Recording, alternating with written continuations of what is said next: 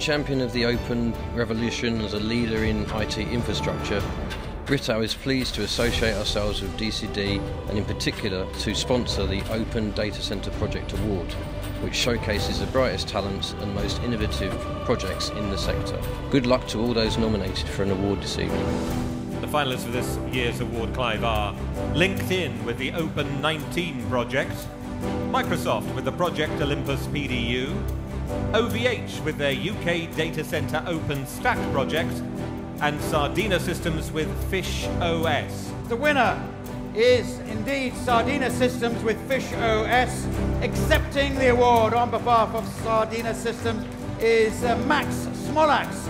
We're absolutely excited to have received this award and we're very, very thankful to our customer, the University of Edinburgh, to have worked through this project with us, and very grateful to our staff who have taken much effort to make this a success. Thank you.